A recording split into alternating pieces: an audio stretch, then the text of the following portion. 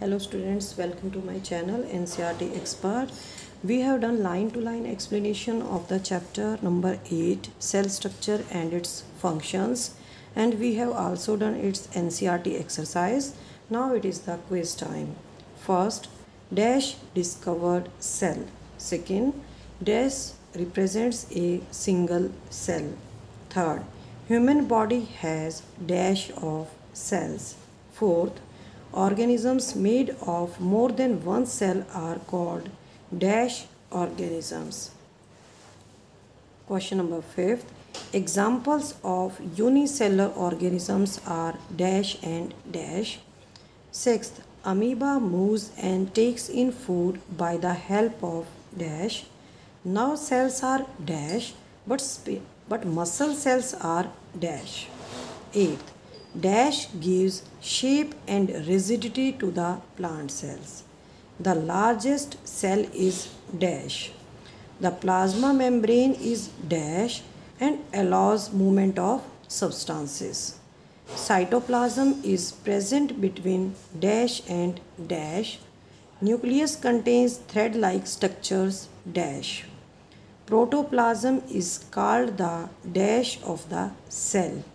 Bacteria and blue-green algae are dash. Empty structures present in the cytoplasm are called dash.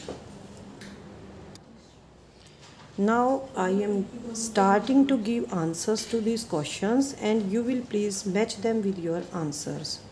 First, who discovered cell? Robert Hooke.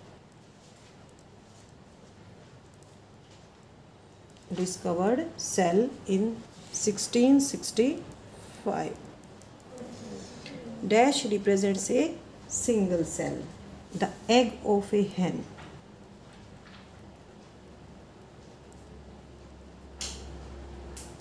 The egg of a hen represents a single cell. इसको हम naked eye से भी देख सकते हैं Human body has trillions of cells. Organisms made of more than one cell are called multicellular organisms. And organisms made of one cell are known as unicellular.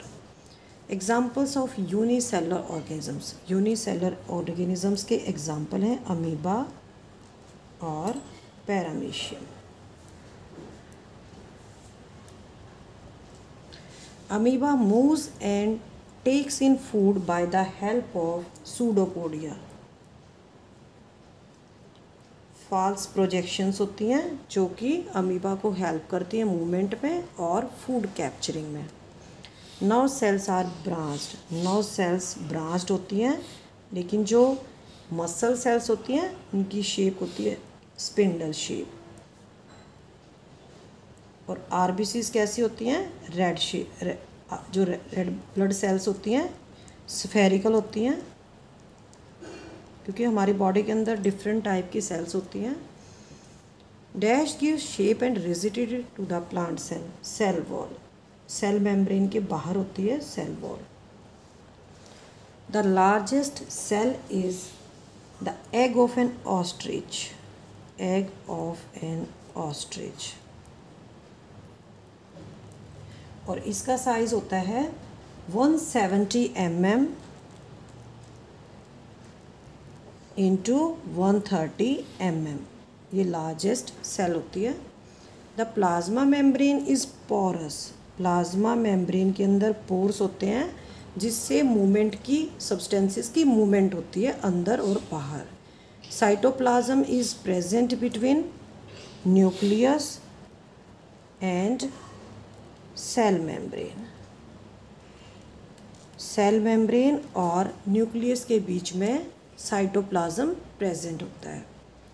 Nucleus के अंदर thread like structures होते हैं, उनको बोलते हैं chromosomes उनका function होता है इनहेरिटेंस के अंदर हेल्प करते हैं।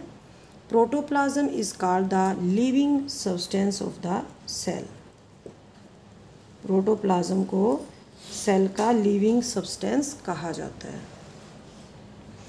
Bacteria and blue green algae are prokaryotes. इनके अंदर जो न्यूक्लियर मटेरियल होता है, उसके ऊपर न्यूक्लियर मेम्ब्रेन नहीं होता।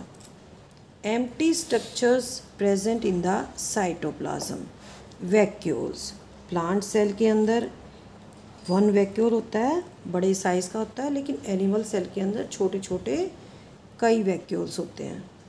इसी के साथ ही हमारा क्विज टाइम फिनिश होता है। थैंक यू बच्चों।